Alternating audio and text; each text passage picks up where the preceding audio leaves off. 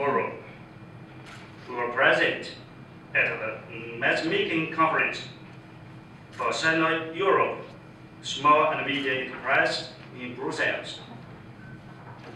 We were also in Beijing at the Sweden-China Infrastructure Cooperation Signals.